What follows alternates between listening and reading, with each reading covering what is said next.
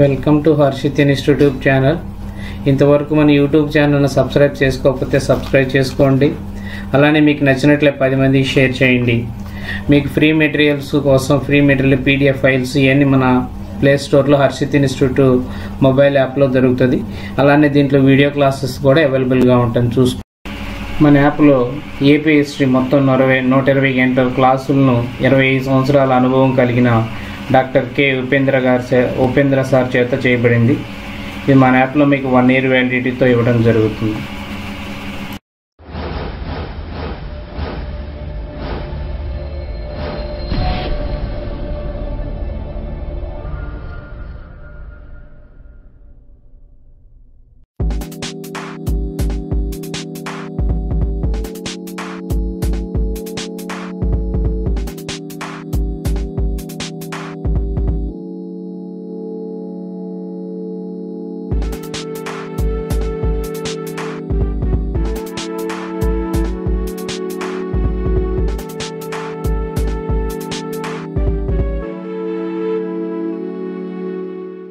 ఈరోజు మనం ఆంధ్రప్రదేశ్ చరిత్రలో భాగంగా అధ్యయనం చేస్తున్నటువంటి అంశం ఏమిటంటే ఆంధ్ర శాతవాహనులు అనేటటువంటి టాపిక్ గురించి ఈరోజు అధ్యయనం చేద్దాం. ఓకేనండి? ఆంధ్ర శాతవాహనులు.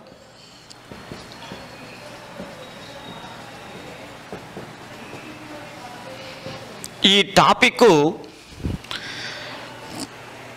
ప్రత్యేకత ఏంటి? అసలు మన ఆంధ్రదేశ చరిత్రలో శాతవాహనులు అనేటటువంటి రాజులకు ఉన్నటువంటి ప్రత్యేకటువంటి స్థానం ఏంటటువంటి విషయాన్ని మనం ఇప్పుడు ప్రస్తుతం చర్చిద్దాం.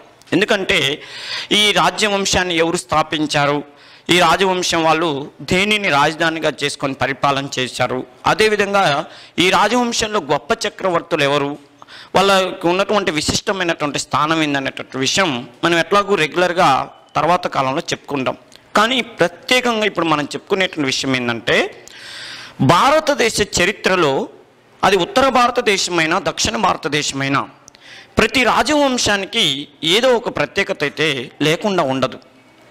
మరి దక్షిణ భారతదేశంలో మన ఆంధ్ర శాతవాహనులకి ముఖ్యంగా మన ఆంధ్రప్రదేశ్ చరిత్రలో శాతవాహన రాజవంశానికి సంబంధించినటువంటి ప్రత్యేకమైనటువంటి విషయం ఏమన్నా ఉన్నదా అని అంటే ఓ ముఖ్యమైనటువంటి విషయం ఏంటంటే శాతవాహనులకు మాత్రమే సంబంధించినటువంటి ముఖ్యమైన విషయం. అంటే దక్షిణ భారతదేశ రాజవంశాలలో దక్షిణ భారతదేశాన్ని పరిపాలన చేసిన రాజవంశాల్లో శాతవాహనులకే ఉన్నటువంటి ప్రత్యేకమైనటువంటి స్థానం ఏంటంటే వీరి పరిపాలనతోనే ఈ రాజవంశం పరిపాలనతోనే మనకి దక్షిణ భారతదేశ చరిత్ర అనేటటువంటిది రాయటం జరిగింది.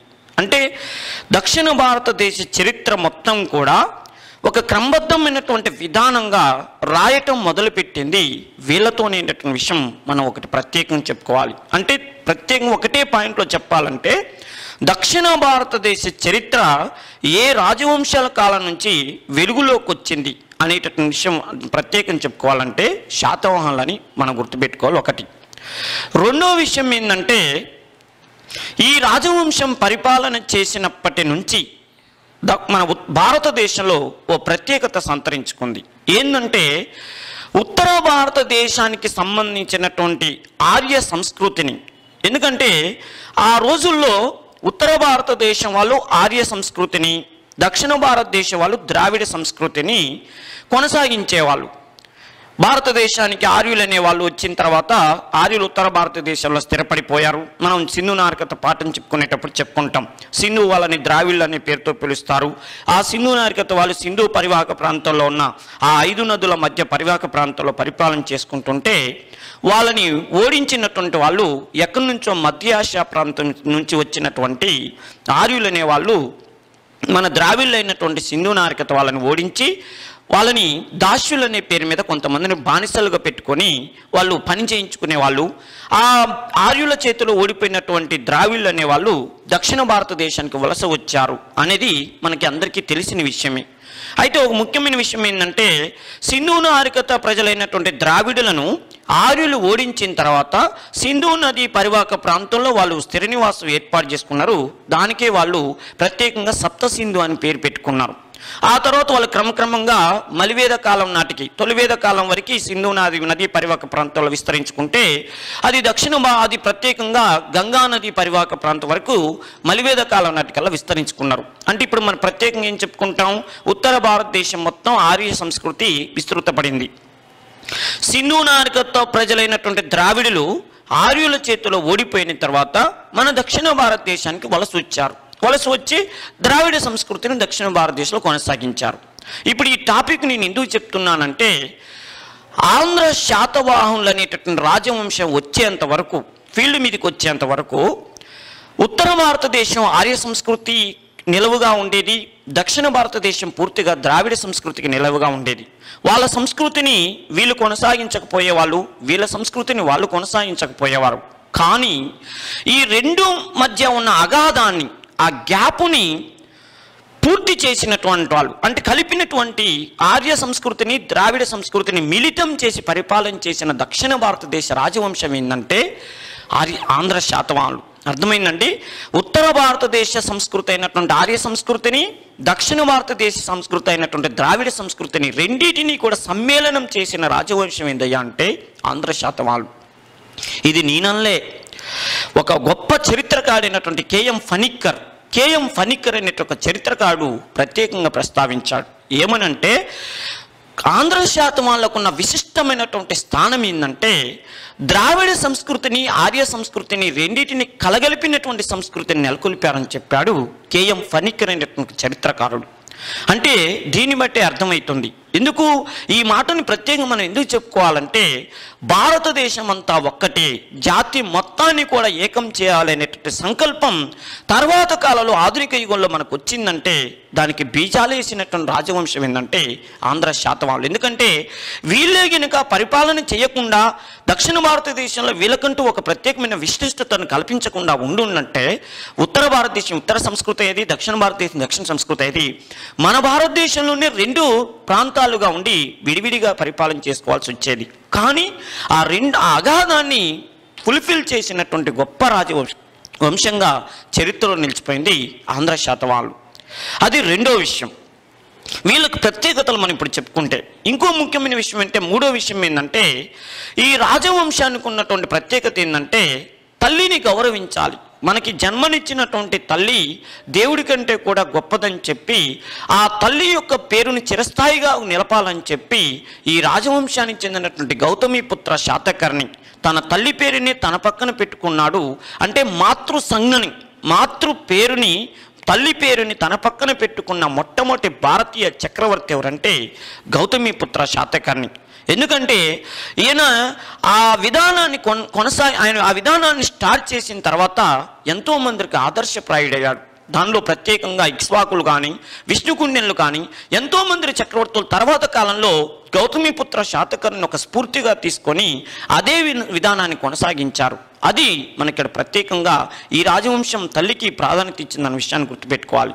ఇంకో ముఖ్యమైన విషయం ఏంటంటే ఈ రాజవంశం వచ్చేంత వరకు ఉత్తర భారతదేశాన్ని పరిపాలన చేసిన ఏ చక్రవర్తులైనా కూడా పరిపాలనలో స్త్రీకి అంత ప్రాధాన్యత ఇచ్చినట్టుగా ఎక్కడా కూడా కనపట్టలేదు ఉదాహరణకి మనకి చూసినట్లయితే సింధు నారికతలో అమ్మ తల్లి అంటే మాతృదేవుడ గాడ్డెస్ అనేటటువంటి శ్రీదేవతకి ప్రాధాన్యత ఇచ్చారు.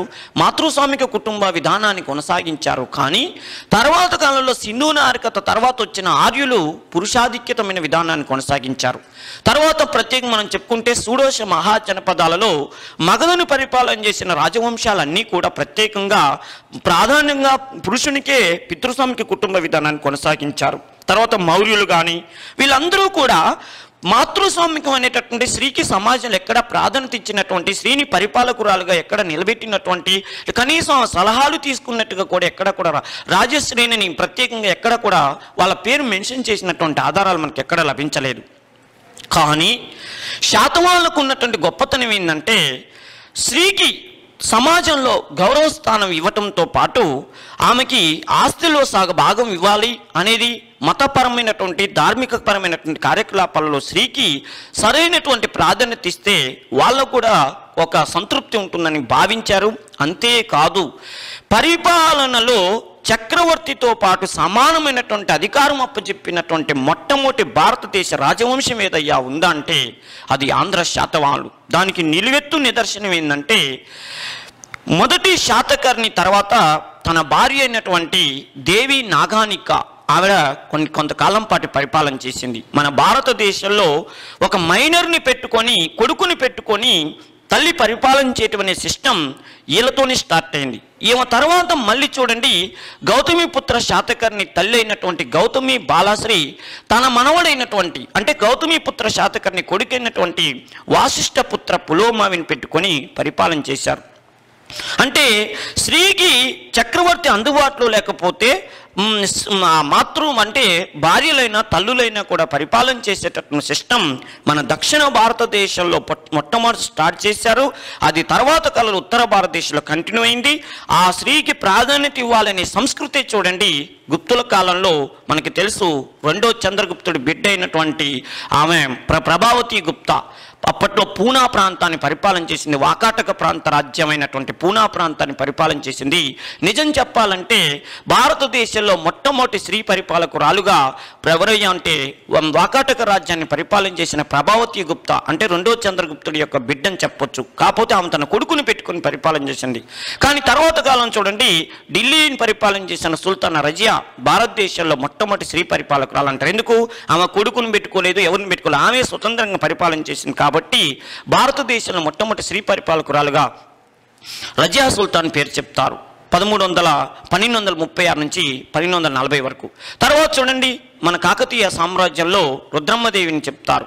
ఈ విధంగా స్త్రీల యొక్క పరిపాలనా విధానానికి అంకురాపణ చేసిన రాజవంశంగా గౌతమన శాతవాహన రాజ్యం నిలబడుతుంది. మరి ఈ రాజవంశానికి ఉన్న ఇంకో ప్రత్యేకతలు ఏందయ్యా అంటే ఒక ముఖ్యమైన విషయం ఏంటంటే అజంతా ఎల్లోరా గుహలు అనగానే ఇప్పుడు కూడా అప్పటి వరకు కూడా ఉత్తర భారతదేశ చక్రవర్తులు వాటిని డెవలప్ చేసినట్టుగానే భావించేవాళ్ళు. కానీ అజంతా ఎల్లోరా గుహలని ఒక దక్షిణ భారతదేశ రాజవంశాల పరిపంలో డెవలప్ చేశారు అంటానికి నిలువెత్తు నిదర్శనం ఏంటంటే మనకి ఆంధ్ర శాతవాహనులు.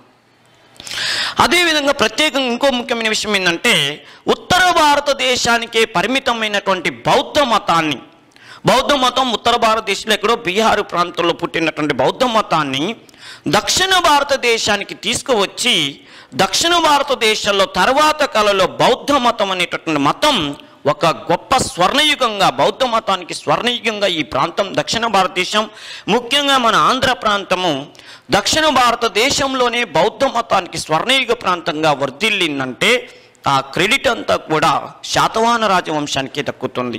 అంటే ఇప్పుడు బౌద్ధ మతాన్ని దక్షిణ భారతదేశానికి అభివృద్ధి చేసిన రాజవంశం కూడా మన శాతవాహన వంశం. అంతేకాదు బౌద్ధ మతాన్ని ఆచరించకపోయినా ఆ సిద్ధాంతాల విష్ గొప్పతనాన్ని తెలుసుకొని దక్షిణ భారతదేశంలోనే ప్రజలని కన్నబిడ్డలుగా చూసుకున్నటువంటి గొప్ప చక్రవర్తి గౌతమిపుత్ర శాతకర్ణి. ఎందుకంటే గౌతమిపుత్ర శాతకర్ణి ఉత్తర భారతదేశాన్ని పరిపాలన చేసిన అశోకుడు ఎలా అయితే ప్రజల్ని తన కన్నబిడ్డలుగా చూసుకొని పరిపాలన చేశాడో ఈ రాజవంశానికి చెందినటువంటి గౌతమిపుత్ర శాతకర్ణి కూడా తన పరిపా ప్రజలని కన్నబిడ్డలుగా చేసుకొని పరిపాలన చేశాడు. అందుకని చూడండి ప్రజల సంక్షేమం దృష్టితో చూస్తే ఏ రాజుని దక్షిణాది అశోకుడని పిలుస్తారంటే గౌతమిపుత్ర శాతకర్ణిని దక్షిణ భారతదేశ అశోకుడని పిలుస్తారు.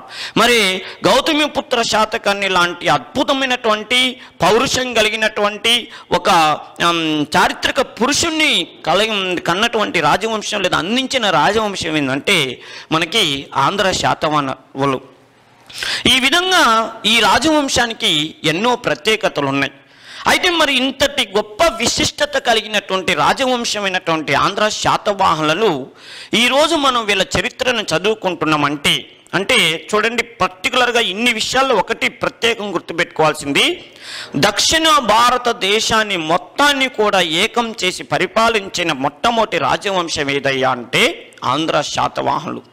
మరి ఇంతటి గొప్ప రాజవంశాన్ని గురించి ఈరోజు మనం చదువుకుంటున్నామంటే ఏ రాజవంశమైనా మనం అధ్యయనం చేయాలంటే కొన్ని ఆధారాలు ఉండాలి. ఆ సోర్స్ ఉంటేనే దాని చరిత్రను అధ్యయనం చేయడానికి వీలవుతుంది. మరి వీళ్ళ చరిత్రని ఈరోజు మనం అధ్యయనం చేస్తున్నామంటే ఆధారాలు ఏమున్నాయంటే ఒకటి సాహిత్య ఆధారాలు. సాహిత్య ఆధారాలు ఒకటి. రెండోది ఏంటయ్యా అంటే శాసనాలు. మూడోది ఏంటంటే నాణ్యాలు. ఈ ముఖ్యమైనటువంటి ఆధారాలను బట్టి వీళ్ళ చరిత్రను మనం అధ్యయనం చేయాలి. ఇంకో ముఖ్యమైన విషయం ఏంటంటే అసలు ఆంధ్ర శాతవాహనులు అనేటటువంటి వాళ్ళు ఎవరికి సామంతులు? వాళ్ళ జన్మస్థలం ఏంటి? అదంతా కూడా మనం ప్రత్యేకంగా చెప్పుకుందాం. ముందు సాహిత్య ఆధారాలు చూద్దాం. ఓ ముఖ్యమైన విషయం ఏంటంటే ఈ సాహిత్య ఆధారాల్లో రెండు రకాలు ఉంటాయి ఒకటి స్వదేశీ ఆధారాలు స్వదేశీ సాహిత్యం. ఒకటి స్వదేశీ సాహిత్యం రెండోది విదేశీ సాహిత్యం. స్వదేశీ సాహిత్యం అంటేనేమో మన స్వదేశీ చక్రవర్తుల దగ్గర పనిచేసినటువంటి కవులు కానీ రచయితలు కానీ వాళ్ళు రాసినటువంటి గ్రంథాలని స్వదేశీ సాహిత్యం అంటారు. ఉదాహరణకి ఇప్పుడు ఆంధ్ర శాతవాహనుల గురించి ఆంధ్ర శాతవాహన చక్రవర్తుల దగ్గర ఉన్నటువంటి కవులు రచయితలు రాస్తేనే అది సాహిత్యం స్వదేశీ సాహిత్యం కాదు. అర్థమైందండి? ఆంధ్ర శాతవాహనుల గురించి ఇప్పుడు మనం పాఠం చెప్పుకుంటున్నాం. ఈ ఆంధ్ర శాతవాహనుల గురించి వాళ్ళ చక్రవర్తుల దగ్గర ఉన్నటువంటి స్వదేశీ రచయితలు స్వదేశీ వాళ్ళ ఆస్థానంలో అంటే కోర్టు పోయేట్టు వాళ్ళ ఆస్థాన కవులు రాసినటువంటి వాటినే స్వదేశీ సాహిత్యం అనరు. శాతవాహనుల దగ్గర లేకపోయినా లేదా శాతవాహన కాలానికే చెందకపోయినా ఏ కాలానికి చెందిన వాళ్ళైనా శాతవాహనుల గురించి రాసిన మన భారతదేశానికి సంబంధించిన కవులని అదే రచయితను వాళ్ళు రాసిన పుస్తకాలను ఏమంటారంటే స్వదేశీ సాహిత్యం అంటారు. విదేశీ సాహిత్యం అంటే ఆంధ్ర శాతవాహనుల గురించి ఇతర దేశాల నుంచి వచ్చినటువంటి వాళ్ళు. అంటే వీళ్ళు పరిపాలన చేస్తున్నప్పుడే రావాల్సిన అవసరం లేదు. వీళ్ళు పరిపాలన చేసిన తర్వాత తర్వాత కాలంలో కొన్ని వందల సంవత్సరాల తర్వాత ఇక్కడికి వచ్చినా పర్లే. గతంలో శాతవాహనులు అనే వాళ్ళు పరిపాలన చేశారు. ఒక ఐదు వందల సంవత్సరాల క్రితం శాతవాహనులు అనే చక్రవర్తులు పరిపాలన చేశారు. వాళ్ళ చరిత్ర అద్భుతమని ఏ విదేశీ రచయిత రాసినా దాన్ని విదేశీ సాహిత్యం అని అంటారు. ఆ టైంకి సంబంధించిన వాళ్ళు కాకపోయినా ఏ టైంలో వాళ్ళు రాసినా వాళ్ళు మన వాళ్ళు అయితేనేమో స్వ స్వదేశీ సాహిత్యం అంటారు వాళ్ళు బయట వాళ్ళు పరాయి వాళ్ళు అయితేనేమో దాన్ని విదేశీ సాహిత్యం అంటారు. మరి వీళ్ళ చరిత్రకు సంబంధించినటువంటి స్వదేశీ సాహిత్యాలు ఏమున్నాయి అనంటే ప్రత్యేకంగా బ్రాహ్మణం. బ్రాహ్మణాలు. రెండోది ఏంటంటే ప్రత్యేకంగా మనకి సంబంధించినవి పురాణాలు. మూడవది ఏంటంటే వీళ్ళ కాలానికి సంబంధించినటువంటి రచయితలు ఆ రాజులే రాసినటువంటి గ్రంథాలు ఉన్నాయి. ఉదాహరణకి చూడండి హాలుడు. మన ఆంధ్రదేశ చరిత్రలోనే మొట్టమొదటి రచయితగాను కవిరాజు. ఆంధ్రదేశ చరిత్రలో కవిరాజుగా పేరు పొందినటువంటి రాజు ఎవరయ్యా అంటే అంటే రాజు ప్లస్ కవి.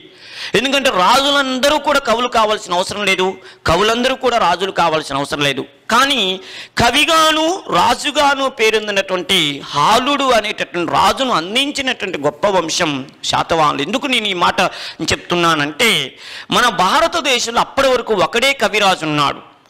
ఆయన ఎవరయ్యా అంటే మనకి గుప్త వంశంలో వస్తాడు. ఆయన ఉత్తర భారతదేశంలో కవిరాజు ఎవరంటే సముద్రగుప్తుని పేరు చెప్తారు. కవిరాజు సముద్రగుప్తుడు. వీణ వాయిస్తున్నట్టుగా నాణ్యాన్ని ముద్రించిన వాడు సముద్రగుప్తుడు అంటారు. మరి దక్షిణ భారతదేశంలో అది మన ఆంధ్రదేశంలో కవిరాజుగా పేరు పొందినటువంటి వాడు రచయితగా పేరు పొందినటువంటి వాడు హాలుడు. ఈయన రాసినటువంటి గ్రంథం ఏంటంటే గాథా సప్తసతి.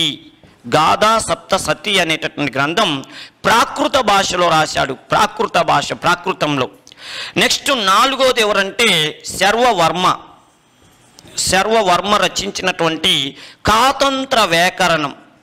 కాతంత్ర వ్యాకరణం అనేటటువంటి గ్రంథం.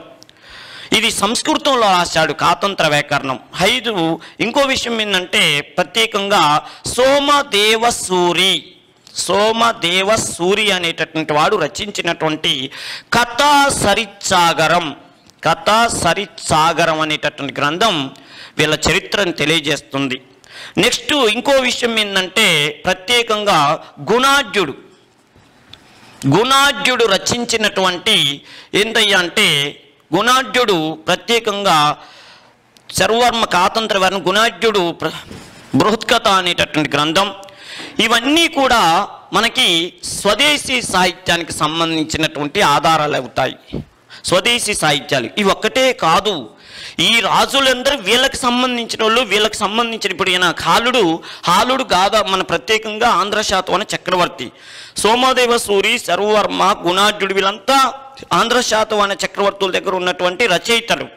వాళ్ళే కావలసిన అవసరం లేదని ఇందాక నేను చెప్పాను. ఉదాహరణకి చూడండి మనకి ప్రత్యేకంగా ఈయన ఉన్నాడు. ఎవరు? బాణుడు. బాణుడు అనేటటువంటి వాడు ఉన్నాడు. ఈ బాణుడు హర్షవర్ధనుడు ఉత్తర భారతదేశాన్ని పరిపాలన చేసినటువంటి హర్షవర్ధనుడు అని పుష్యభూతి చక్రవర్తి ఉన్నాడు. ఆ పుష్యభూతి చక్రవర్తి అయిన హర్షుడి దగ్గర ఉన్నటువంటి వాడే బాణుడు ఆయన్ని బాణభట్టు అంటారు. ఈయన ప్రత్యేకంగా హరిష చరిత్ర అనే పుస్తకం రాశాడు. హరిష చరిత్ర ఈ పుస్తకంలో ప్రత్యేకంగా ఆంధ్ర శాతవన చక్రవర్తి అయినటువంటి యజ్ఞశ్రీ శాతకర్ణి గురించి ప్రత్యేకంగా మెన్షన్ చేశాడు. అంటే చూడండి ఆంధ్ర శాతవాళ్ళ గురించి వాళ్ళ రాజులు వాళ్ళ రచయితలు రాసుకోవాల్సిన అవసరం లేదు. బయట చక్రవర్తులు బయట మీన్స్ ఇండియాలోనే వేరే సంస్థానానికి చెందిన చక్రవర్తులు రాసేవి కూడా అవి మన భారతదేశ సాహిత్యుల హర్ష ఆంధ్ర శాతం వాళ్ళ గురించి సమగ్ర సమాచారాన్ని అందిస్తున్నాయి. నెక్స్ట్ చూడండి ప్రత్యేకంగా సంగమ సాహిత్యం. సంగం సాహిత్యం అని చెప్పి మనకి దక్షిణ భారతదేశంలో చోళులు చేర పాండ్య చోళ చేర పాండ్య మూడు రాజ్యాల కవులందరూ కలిసి మన తమిళనాడు ప్రాంతంలోని మధురై అనే ప్రాంతంలో ప్రతి సంవత్సరం ఒకసారో రెండు సంవత్సరాలకు ఒకసారో కవి పండిత పరిషత్తులు పెట్టుకునేవాళ్ళు. ఆ కవి పండితుల పరిషత్తులను ఆ రోజుల్లో ఏమని పిలిచేవాళ్ళంటే సంగం సాహిత్యం లేదా సంగం యుగం అనే పేరుతో పిలిచేవాళ్ళు. ఇప్పుడు ఆంధ్ర శాతవాళ్ళ గురించి సంఘం సాహిత్యంలో కూడా ప్రత్యేకంగా పొందుపరచడం జరిగింది. ఇవి వాళ్ళ కాలం కాకపోయినా వాళ్ళ గురించి తెలియజేస్తున్నాయి. అర్థమైన అంటే వాళ్ళ రాజ్యానికి సంబంధించిన వాళ్ళు కాకపోయినా వాళ్ళ గురించి ప్రత్యేకం తెలుస్తున్నాయి. ఇవి మనకి ఆంధ్ర శాతవాళ్ళ గురించి తెలియజేస్తున్నాయి. ఉదాహరణకి దీని గురించి ఎక్స్ప్లెయిన్ చేద్దాం. బ్రాహ్మణాలు. బ్రాహ్మణం అంటే ప్రత్యేకం చూడండి రేపు పరీక్షలో ఒక మాట అడుగుతాడు. ఆంధ్ర శాతుమాల గురించి సమగ్రమైనటువంటి సమాచారాన్ని అందిస్తున్నటువంటి బ్రాహ్మణ వేదంటాడు అర్థమైందంటే ఆంధ్ర శాతవాళ్ళ గురించి సమగ్రమైనటువంటి సమాచారాన్ని అందిస్తున్నటువంటి బ్రాహ్మణం ఏంటంటే ఐతరేయ బ్రాహ్మణం. ఐతరేయ బ్రాహ్మణం అనేటటువంటి బ్రాహ్మణము ప్రత్యేకంగా ఆంధ్ర శాతవాళ్ళ గురించి సమగ్రమైనటువంటి సమాచారాన్ని అందిస్తుంది. ఒకటే గుర్తుంచుకోండి. అసలు ఏ రాజవంశం గురించే మాత్రమే ఏ రాజవంశం గురించి మాత్రమే ఐతరేయ బ్రాహ్మణం తెలియజేస్తుందంటే ఆంధ్ర శాతవాళ్ళ గురించి సమగ్రమైన సమాచారాన్ని అందిస్తుంది. ఒకటి. పురాణాలు మనకుంటాయి. మత్స్య పురాణం లేకపోతే వాయు పురాణం విష్ణు పురాణం గరుడ పురాణం బ్రహ్మాండ పురాణం అని ప్రత్యేకంగా పురాణాలు ఉన్నాయి మత్స్య పురాణం వాయు పురాణం బ్రహ్మాండ పురాణం గరుడ పురాణం ఇలా పురాణాలు ఉన్నాయి ఇప్పుడు రేపు పరీక్షలు అడుగుతాడు ఈ ఆంధ్ర శాతవాళ్ళ గురించి సమగ్రమైన సమాచారాన్ని అందిస్తున్నటువంటి పురాణాలు ఎన్ని అంటాడు అంటే చూడండి మత్స్య పురాణం వాయు పురాణం విష్ణు పురాణంతో పాటు బ్రహ్మాండ పురాణం అనేటటువంటి పురాణం కూడా బ్రహ్మాండ పురాణం అనేటటువంటి పురాణం కూడా వీళ్ళ గురించి ప్రత్యేకమైన సమాచారాన్ని అందిస్తుంది. మళ్ళీ పర్టికులర్గా ఎగ్జామ్ పాయింట్ ఆఫ్ వ్యూలో ఏ పురాణము ఎక్కువగా ఆంధ్ర శాతం వాళ్ళ గురించి సమగ్రమైన సమాచారాన్ని అందిస్తుందనంటే మత్స్య పురాణం అందుకే నేను ఫస్ట్ మత్స్య పురాణం రాశాను. మత్స్య పురాణం అనేటటువంటిది ఆంధ్ర శాతం వాళ్ళ గురించి సమగ్రమైన సమాచారాన్ని అందిస్తుంది. ఏమని అందిస్తుంది? మత్స్య పురాణం ఎక్కువ సమాచారాన్ని అందిస్తుంది అన్నాం. ఏమని అందిస్తుందయ్యా అంటే ఆంధ్ర శాతవాహన చక్రవర్తులు మొత్తము ముప్పై మంది చక్రవర్తులు. నాలుగు వందల యాభై ఆరు సంవత్సరాల పాటు పరిపాలన చేశారని చెప్పి తెలియజేసేటటువంటి పురాణం ఏదంటాడు? మత్స్య పురాణం. మళ్ళీ చెప్తున్నాను ఎందుకంటే చాలా ఇంపార్టెంట్. మత్స్య పురాణం అనేటటువంటిది ఆంధ్ర శాతవాల గురించి సమగ్రమైన సమాచారాన్ని అందిస్తున్నటువంటి పురాణం అని గుర్తుంచుకోండి. ఈ మత్స్య పురాణం ఏం తెలియజేస్తుందయ్యా అంటే ముప్పై మంది శాతవాన చక్రవర్తులు ఒక నాలుగు వందల యాభై ఆరు సంవత్సరాల పాటు దక్షిణ భారతదేశాన్ని అవిచ్ఛిన్నంగా పరిపాలన చేశారని చెప్తుంది. అంతేకాదు మళ్ళీ ఒక గొప్ప విషయం కూడా ఏంటంటే క్రీస్తు పూర్వం అంటే బీసీలోను ఏడీలోను రెండు యుగాలలోను కూడా పరిపాలన చేసిన రాజవంశం ఏంటంటే ఆంధ్ర శాతం శాతవాళ్ళని చెప్తారు. అర్థమైందండి? క్రీస్తు పూర్వం ఇరవై ఐదు రెండు వందల ఇరవై ఐదు నుంచి క్రీస్తు శకం రెండు వందల ఇరవై ఐదు వరకు ఇలా క్రీస్తు పూర్వంలోను క్రీస్తు శకంలోను పరిపాలన చేసిన రాజవంశంగా దక్షిణ భారతదేశంలో నిలిచింది ఆంధ్ర శాతం వాళ్ళని మనకు ప్రత్యేకం తెలుస్తుంది. నెక్స్ట్ హాలుడు. హాలుడు రచించినటువంటి గాథా సప్తసతి. ఎందుకంటే ఈ గా పరీక్షలో ఒక చిన్న విషయం గ్రూప్ టూ పిల్లవాళ్ళు అధ్యయనం చేయాల్సిన ఒక ముఖ్యమైన విషయం ఏంటంటే ఏ రచయిత ఏ పుస్తకం రాసింది అనేది అది మీ స్థాయికి సంబంధించినటువంటిది కాదు. ఎందుకంటే చిన్న చిన్న ఎగ్జామ్స్లలో హాలుడు ఏం పుస్తకం రాశాడు శరవర్మ ఏ పుస్తకం రాశాడు గుణాఢ్యుడు ఏ పుస్తకం రాశాడని అడుగుతాడు. లేకపోతే కాతంత్ర వ్యాకరణాన్ని ఏ ఎవరు రాశారు లేకపోతే బృహత్కథను ఎవరు రాశారు గాథా సప్తసతిని ఎవరు రాశారని పుస్తకాల టైటిల్స్ ఇచ్చి రై- రచయితలను అడుగుతాడు. అవి చిన్న చిన్న ఎగ్జామ్కి సంబంధించినవి. కానీ గ్రూప్ టూ స్టాండర్డ్ లేదా గ్రూప్ వన్ స్టాండర్డ్లో అడిగేటటువంటి ముఖ్యమైన విషయం ఏంటంటే రచయితని ఆయనే ఇస్తాడు ఆ రచయిత రాసిన పుస్తకాన్ని ఆయనే ఇస్తాడు. రెండిచ్చి దానిలో ఉన్నటువంటి విషయాన్ని ఏదో కనుగొ కనుక్కొని అంటాడు. దానిలో ఏ విషయం ఉందో కనుక్కొని అంటాడు. అది ఇప్పుడు మనకు కావలసినటువంటి విషయం. అర్థమైందండి? ఆ పుస్త రచయిత పేరు ఆయన ఇస్తాడు ఎగ్జామ్ పేపర్లో తర్వాత ఆయన రాసిన పుస్తకం ఆయన ఇచ్చి ఉదాహరణకి గా హాలుడు రచించిన గాథా సప్తశతిలో ఏ విషయాన్ని ప్రస్తావించడం జరిగింది అంటాడు అంటే చూడండి హాలుడు తాను రచించిన గాథా సప్తశతిని ప్రాకృత భాషలో రాశాడు. ఎందుకంటే మన శాతం వాళ్ళ అధికార భాష ప్రాకృతం. అంతేకాదు హాలుడి పరిపాలనా కాలం ప్రత్యేకంగా మన ప్రాకృత భాషకి స్వర్ణయుగం అనేటటువంటి విషయాన్ని మనం ప్రత్యేకం చెప్తాను స్వర్ణయుగం ప్రాకృత భాషకి. అందుకని ఆయన ప్రాకృత భాషలో గాథా సప్తసతి రాసి ఆ పుస్తకంలో ఏమని రాసిందంటే అసలు రేపు అడుగుతాడు గాథ అంటే అర్థం ఏందంటాడు. గాథ అంటే కథ. గాథలు కథలు. ఎన్ని కథలు సప్త అంటే ఏడు వందలు ఏడు వందలు శత ఏడు వందలు సప్త అంటే ఏడు శత అంటే ఏడు వందలు అంటే ఏడు వందల కథలతో కూడుకున్నటువంటి పుస్తకమే ఆ గాథా సప్తసతి ఏడు వందల కథలు ఆ రోజుల్లో ఆ శాతవాహన సామ్రాజ్యంలో ప్రత్యేకంగా ఏడు వందల కథలు అంటే శృంగార కథలు ఉన్నాయంట. ఆ శృంగార కథలన్నిటినీ ఒక దగ్గరికి కూర్చాడు. అంటే సంపాదకత్వం వహించాడు. ఆ సంపాదకత్వంతో రాశాడు. మరి దానిలో విషయం ఏంది? శృంగార కథలే పెట్టిండా? అంటే కాదు. ఆనాడు మన శాతవాన రాజ్యంలో ముఖ్యంగా మన ఆంధ్రదేశంలో తెలుగు ప్రాంతంలో సామాజిక ఆర్థిక సాంఘిక పరిస్థితులను ప్రత్యేకంగా వర్ణించాడు. ఇది మీరు ప్రత్యేకం గుర్తుపెట్టుకోవాలి. ఆంధ్ర శాతవాహన కాలం నాటి సామాజిక ఆర్థిక రాజకీయ పరిస్థితుల గురించి వివరించే ఈ క్రింది గ్రంథం ఏదయ్యా అంటే గాథా సప్తసతి. ఏడు వందల శృంగార కథల గురించి వర్ణించే పుస్తకం ఏదంటే గాథా సప్తసతి. అంతేకాదు ఆ రోజుల్లో షా మన ఆంధ్ర శాతవాహనులు పరిపాలన చేస్తున్నప్పుడు గ్రామీణ ప్రాంతాలను పరిపాలన చేయటం కోసం మనం ఆర్థిక సాంఘిక పరిస్థితుల్లో తర్వాత చెప్పుకుందాం. ఒక బిట్టు చెప్దాం ఇక్కడ విషయం ఏంటంటే ఆ రోజుల్లో శాతవాహనులు పరిపాలన చేస్తున్నప్పుడు గ్రామీణ ప్రాంతాల్లో గ్రామీణ అని ఒక అధికారి ఉండేవాడు. గ్రామ పరిపాలకుడు గ్రామిణి అంటారు. ఈ గ్రామిణితో పాటు ఒక ఐదు నుంచి పది గ్రామాలకు అధికారి గుల్మి అని ఉండేవాడు. గుల్మి వాడిని గుల్మికడు. ఐదు నుంచి పది గ్రామాల దాన్ని ఏమని పిలిచేవాళ్ళు? సమూహాన్ని గుల్మి అంటారు. గుల్మి పరిపాలకుడు ఎవరు? గుల్మికుడు. ఈ గుల్మికుడు ఈ ఐదు నుంచి పది మంది గ్రామికులు గ్రామిణులు గ్రామాన్ని పరిపాలన చేసే గ్రామిణులు ఈ గ్రామిణి ఈ గుల్మికుడు ఇద్దరు కలిసి గ్రామాల్లో ప్రజల్ని పీల్చి పిప్పి చేసేవాళ్ళు. అంటే అక్కడ భూములు ఆక్రమించుకోవటం కానీ ఆ పన్ను కట్టాలని ఈ పన్ను కట్టాలని చెప్పి ముఖ్యంగా ఆడవాళ్ళని ఇబ్బంది పెట్టే వాళ్ళని చెప్పి ఆనాటి వాళ్ళ పైశాచిక చర్యలని గురించి హాలుడు ఈ గ్రంథంలో రాశాడు. అంటే గ్రామీణ ప్రాంతాల అధికారులు తీసుకుంటున్న లంచాల గురించి వాళ్ళు చేస్తున్న అవినీతి పనుల గురించి ప్రత్యేకంగా ప్రస్తావించిన ఈ గ్రంథి కింది గ్రంథం ఏదయ్యా అంటే ఈ గ్రంథం పెట్టేయండి గాథా సప్తసతి. పోని ఇంకోటి శర్వవర్మ కాతంత్ర వేకరణం. రేపు పరీక్షలో ఒక మాట అడుగుతాడు. రేపు కాతంత్ర వేకరణం అనరు. రేపేమంటాడంటే ఈ క్రింది గ్రంథాలలో సర్వవర్మ కాతంత్ర వ్యాకరణం రాసింది అనేది చిన్న పిల్లగాడు చెప్తాడు. అది కాదు రేపు అడిగేది. ప్రత్యేకంగా ఈ క్రింది గ్రంథాలలో ఏ గ్రంథాన్ని మోదక దండక మోదక దండక అనే పేరుతో పిలుస్తారంటారు? అంటే కాతంత్ర వ్యాకరణాన్ని మోదక దండక అనే పేరుతో పిలుస్తారు. దానికి ఒక పేరు అది ఆ పేరుతో ఫస్ట్ అయింది తర్వాత మోదక దండక అనేటటువంటిది కాతంత్ర వ్యాకరణం అనేటువంటి పేరుగా మార్చడం జరిగింది.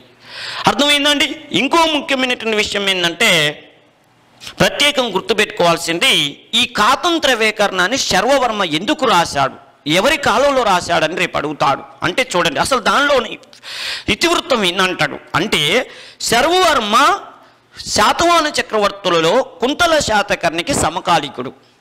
కుంతల శాతకర్ణికి పాప నిరక్షరాశుడు. అది రేపు అది కూడా అడగొచ్చు. ఏ క్రింది శాతవాహన చక్రవర్తులు ఎవరు నిరక్షరాశుడు అనొచ్చు? కుంతల శాతకర్ణి. వాడు నిరక్షరాశుడు. నిరక్షరాశుడైన వానికి సంస్కృతం రాదు. అప్పుడు వాళ్ళ ఆవిడ నీకు సంస్కృతం రాదా? అని చెప్పి అవమానించిందంట. అప్పుడు వాడు ఫీల్ అయ్యాడు. ఇది ఇచ్చత్క సవాల్ అని భావించి ఎట్లయినా చేసి ఈ ఆరు నెలల్లో సంస్కృతం నేర్చుకోవాలి. అప్పుడు నా సత్తా ఏదో చూపించాలని చెప్పి ఆ బాధని బహుశా శర్వవర్మకు చెప్పుకున్నట్టుంది. ఒరే నాకు సంస్కృతం రావట్లేదు మా ఆవిడ అవమానం చేసిందిరా అని తిట్టి చెప్పి తిట్టిందని చెప్పినట్టుంది సార్ నేనున్నాను సార్ అని చెప్పి అతి సులభంగా ఆ శర్వవర్మ అతి సులభంగా కుంతల శాతకర్ని సంస్కృతం నేర్చుకోవటానికి అతి సులభమైనటువంటి పదాలతో ఒక బా పుస్తకం రాశాడు. అదే మనం ఇప్పుడు చెప్పుకుంటున్నటువంటి కాతంత్ర వ్యాకరణం. వ్యాకరణం ఏంది? భాష. ఛందస్సు అని మనం చిన్నప్పుడు చదువుకునేది కదా గురువులు లఘువులు. వాటికి సంబంధించిన అంటే వాడు అతి తొందరగా కుంతల శాతకాన్ని సంస్కృతం నేర్చుకోవటానికి రాయబడిన గ్రంథం. ఇదని ప్రత్యేకంగా గుర్తుంచుకోండి. నెక్స్ట్ సోమదేవ సూరి రాసిన కథా సరిచాగరం ఇందులో ఏ విషయం ఉంది? అనే విషయాన్ని చూస్తే రెండు విషయాలు ఉంటాయి మనకి. నేను మళ్ళీ మళ్ళీ చెప్తున్నాను. గ్రంథము రచయిత పేరు చదవటం గొప్ప కాదు. దానిలో ఉన్న ఇతివృత్తాన్ని తెలుసుకోండి. రేపు పరీక్షలో సోమదేవ సూర్య రచించినటువంటి కథా సరిత్సాగరంలో ఉన్న రెండు విషయాలు ముఖ్యమైన విషయాలు ఏంటంటే నెంబర్ వన్ శర్వర్మ గుణాఢ్యుడు ఇద్దరు కుంతల శాతకర్ణికి సమకాలికుడు. అంటే కుంతల శాతకర్ణిలో లో రాజ్యంలో ఆస్థాన పండితులు. అర్థమైందండి? శర్వర్మ గుణాఢ్యుడు ఇద్దరు కుంతల శాతకర్ణ ఆస్థానంలో పండితులు. వీళ్ళిద్దరికి అస్సలు పడదు ఇద్దరు ఈయన సంస్కృతంలో గొప్ప పండితుడు ఈయన ప్రాకృతంలో గొప్ప పండితుడు. వీళ్ళిద్దరు నేనంటే నేనని గొప్ప అని ఫీల్ అవుతుండేవాళ్ళు.